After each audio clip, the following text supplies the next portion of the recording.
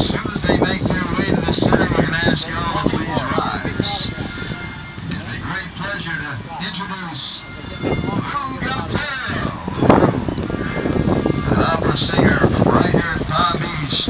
He's known for his amazing rendition of the Star Spangled Banner. and invited to perform the First Lady, the Governor of the Joint Session of Congress. His powerful baritone voice has also brought him opportunities to sing for the NBA